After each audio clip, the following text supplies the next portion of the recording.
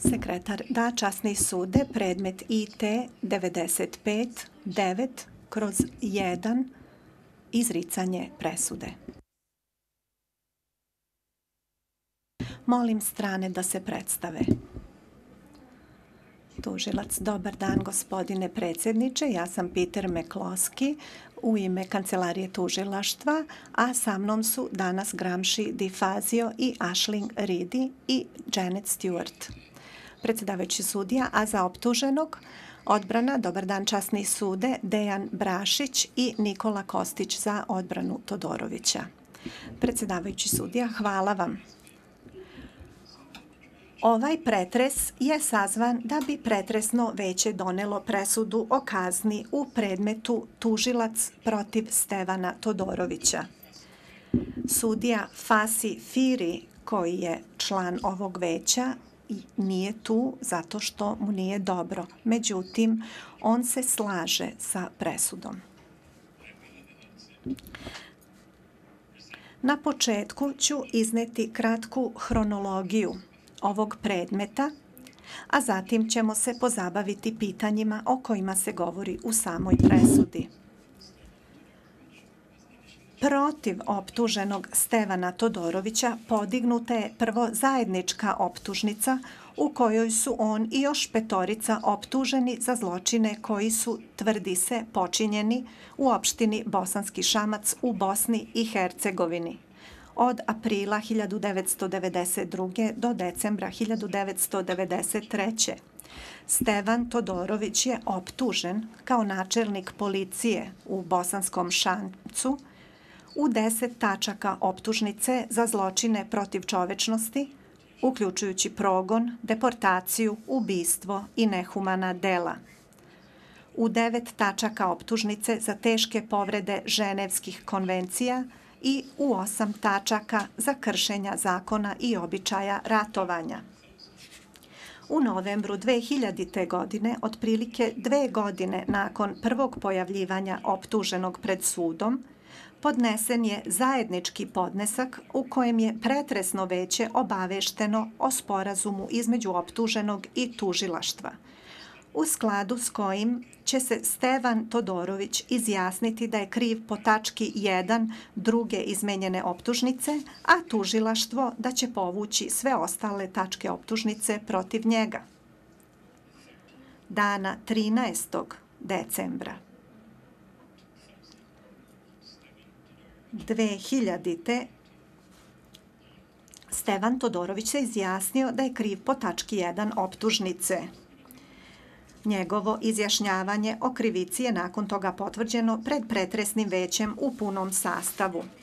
Uverivši se da su ispunjeni uslovi iz pravila 62 bis u vezi s njegovim potvrdnim izjašnjavanjem o krivici, pretresno veće je Stevana Todorovića proglasilo krivim. Tada je postupak protiv Todorovića formalno odvojen od postupka protiv ostalih optuženih. Na pretresu pred izricanje kazne održanom 4. maja 2001. godine pretresno veće je prihvatilo određene izjave svedoka koje je uvela odbrana, kao i dva izveštaja veštaka o zdravstvenom i psihičkom stanju Stevana Todorovića. Odbrani je dozvoljeno da pozove još dva svedoka, kao i jednog od veštaka lekara, doktora Lečić-Toševski. Pre završne reči odbrane, Stevan Todorović se i sam obratio veću. U skladu sa praksom Međunarodnog suda, a za potrebe ovog pretresa, ukratko ću izneti nalaze pretresnog veća u ovom predmetu. Naglašavam da je ovo samo sažetak i da nije deo presude. Jedini merodavni prikaz zaključaka pretresnog veća i obrazloženja tih zaključaka može se naći samo u pismenoj presudi, čiji će primerci biti podeljeni stranama po završetku ovog pretresa. Ovu presudu o kazni pretresno veće zasniva na prihvatanju potvrdnog izjašnjavanja Stevana Todorovića o krivici i nakon toga donesene presude kojom je optuženi osuđen po tački 1 optužnice za progon kao zločin protiv čovečnosti iz člana 5 statuta Međunarodnog suda. Na samom početku u presudi se razmatra težina zločina za koji je osuđen Stevan Todorović. Kao što je to formulisalo žalbeno veće u predmetu Čelebići, u izricanju kazne prvenstveno treba uzeti u obzir težinu dela. To podrazumeva ocenu krivičnog ponašanja koje predstavlja osnovu za osuđujuću presedu, presudu i moguće otežavajuće okolnosti. U presudi se u sažetom obliku iznose pojedinosti krivičnog ponašanja na kojima se zasniva osuđujuća presuda Stevanu Todoroviću za zločin progona, uključujući njegovo učestovanje u premlaćivanju i ubistvu Ante Brandića muškaraca u policijskoj stanici u Bosanskom Šamcu. Stevan Todorović je takođe priznao svoje učešće u protivpravnom zatočenju, okrutnom i nehumanom postupanju i prisilnom premeštanju i deportaciji bosanskih muslimana, bosanskih Hrvata i drugih civila nesrba iz opštine Bosanski Šamac. Kao komponentu ukupne težine dela, veće je kao otežavajuće okolnosti uzelo u obzir nadređeni položaj koji je optuženi imao kao načelnik policije u Bosanskom Šamcu i okrutan način na koji je izvršio nekoliko krivičnih radnji zbog kojih je osuđen. U tom svetlu pretresno veće zaključuje da je Stevan Todorović počinio posebno težak zločin. Zatim je veće ispitalo da li postoje olakšavajuće okolnosti i zaključilo da postoje četiri faktora koja se u ovom slučaju mogu uzeti u obzir za ublažavanje kazne. Naime, priznavanje krivice optuženog, njegova značajna saradnja s tužilaštvom, kajanje zbog zločina koje je počinio i pitanje njegove navodno smanjene uračunljivosti. Veće napominje da je Todorović tek treći optuženi pred Međunarodnim sudom koji je osuđen na osnovu potvrdnog izjašnjavanja o krivici. Veće je svesno prednosti za Međunarodni sud u smislu vremena i sredstava kada se optuženi potvrdno izjasni o krivici, a posebno kada do tog izjašnjavanja dođe na početku postupka ili barem pre početka samog suđenja. Veće smatra da bi potvrdno izjašnjavanje o krivici u principu trebalo da dovede do smanjenja kazne koju bi optuženi inače dobio. I veće napominje da suđenje Stevanu Todoroviću još nije započelo kad je on odlučio da se potvrdno izjasni o krivici veće uvažava značajan doprinos Todorovićevog potvrdnog izjašnjavanja o krivici za efikasnost rada Međunarodnog suda i za nastojanje suda da se utvrdi istina, te to uzima u obzir kod ublažavanja kazne. Pretresno veće takođe uzima u obzir sporazum o izjašnjavanju o krivici na osnovu kojeg je Stevan Todorović pristao da sarađuje s tužilaštvom, davanjem istinitih i potpunih informacija i svedočenjem u predmetu protiv bivših suoptuženih i, ako to zatraži tužilaštvo, u bilo kom drugom postupku. Veće je uzelo u obzir navode tužilaštva u pogledu kvantiteta i kvaliteta informacija koje je Stevan Todorović do sada dao. I zaključuje da je dosadašnja saradnja Stevana Todorovića s tužilaštvom bila značajna i da bi se takva saradnja trebala uzeti u obzir kao olakšavajuća okolnost u ovom predmetu. Utvrđeno je da se pretresno veće da bi kajanje prihvatilo kao olakšavajuću okolnost kod odmeravanja kazne, mora uveriti da je izraženo kajanje iskreno.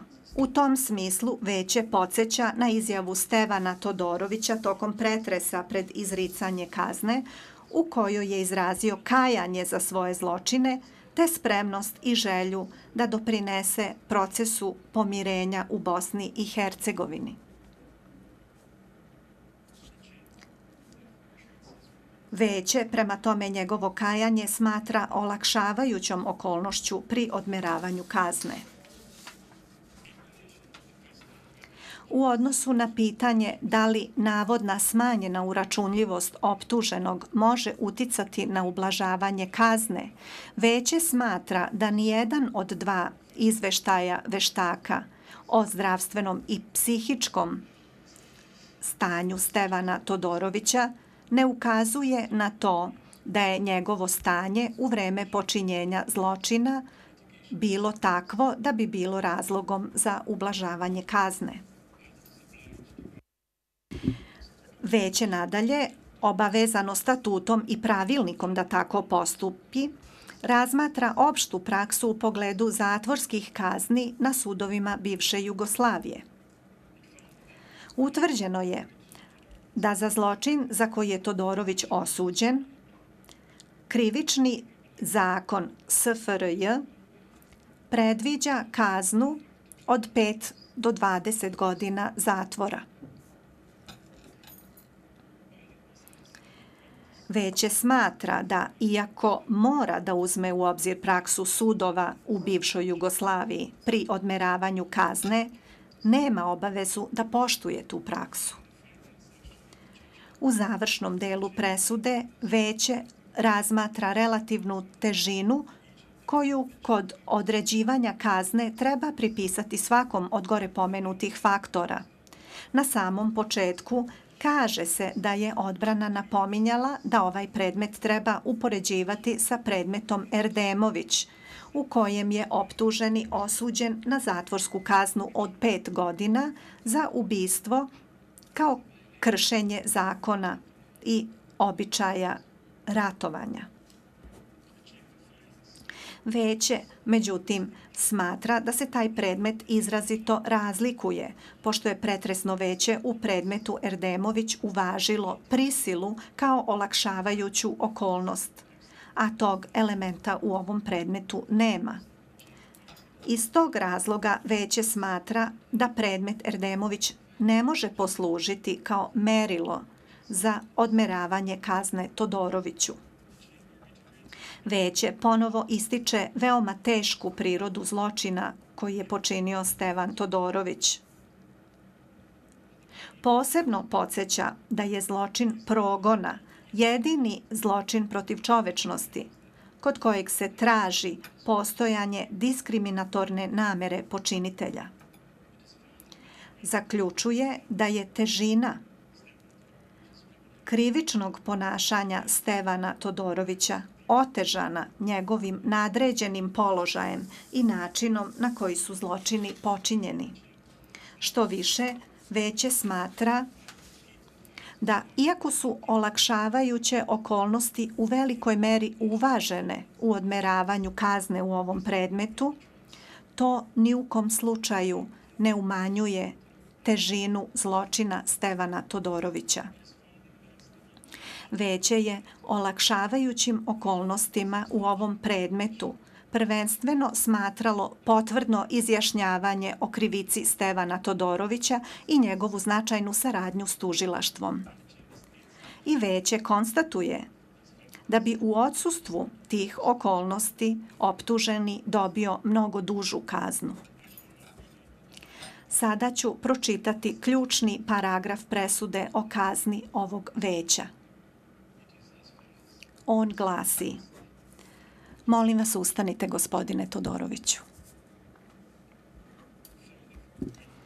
Iz gore navedenih razloga, razmotrivši argumente obe strane, dokaze iznesene na pretresu pred izricanje kazne, statut i pravilnik Međunarodnog suda, pretresno veće izriče kaznu Stevanu Todoroviću u trajanju od 10 godina zatvora i utvrđuje da mu se u kaznu koju izriče pretresno veće uračunavaju dve godine, 10 meseci i tri dana, računajući od dana donošenja ove presude o kazni, uz dodavanje vremena koje provede u zatvoru, čekajući na odluku po žalbi.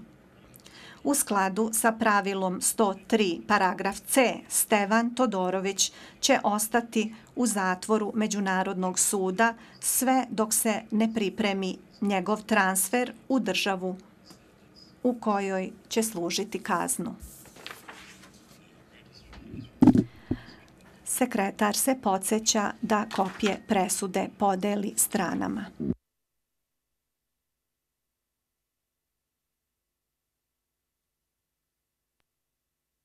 Rasprava se prekida.